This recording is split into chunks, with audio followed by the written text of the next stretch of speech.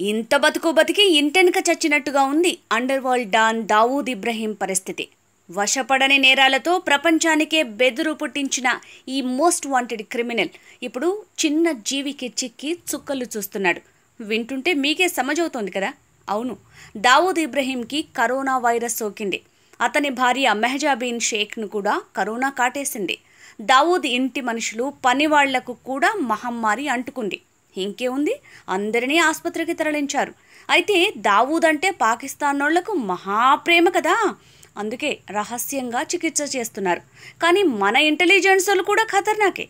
అందుకే దావూద్కి ఎక్కడ చికిత్స చేస్తున్నారో కనిపెట్టేశారు. కరాచీలోని మిలిటరీ ఆసుపత్రిలో దావూద్ ఇబ్రహీంకి చికిత్స చేస్తున్నారట. అతని భార్య మెహజాబేన్ షేక్కి కూడా అక్కడే మందులు ఇస్తున్నారు. దావూద్ ఇంటి మనుషులు పనివాళ్ళను క్వారంటైన్ చేసి జాగ్రత్తగా చూసుకుంటున్నారు. ఇప్పుడు పాకిస్తాన్లో కరోనా విజృంభిస్తోంది. కేసుల సంఖ్యలో చైనాను మించిపోయింది. కేసుల సంఖ్యనైతే చైనాను మించిపోయింది కానీ డబ్బులు మాత్రం పాకిస్తాన్ వద్ద లేవు.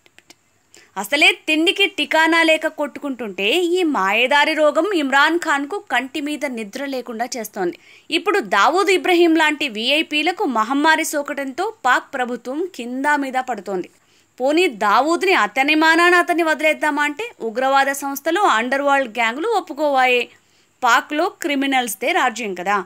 అందుకే చచ్చినట్లు దావూద్కి వీఐపీ ట్రీట్మెంట్ ఇస్తోంది. మరో ముఖ్యమైన విషయం ఏంటంటే కరోనాతో దావూద్ చనిపోయాడని కూడా పాకిస్తాన్లో పుకార్లు వ్యాపిస్తున్నాయి. అయితే అది నిజమైతే బాగుండని కొందరు కావద్దని మరికొందరు వాదించుకుంటున్నారు. ఎందుకంటే దావూద్ ఇబ్రహీం చోటమోటా క్రిమినల్ కాదు.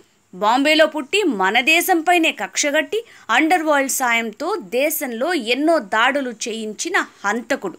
దాదాపు ఇరవై ఏడేళ్ళుగా పాకిస్తాన్లోనే దాక్కుంటూ నక్రాలు చేస్తున్నాడు.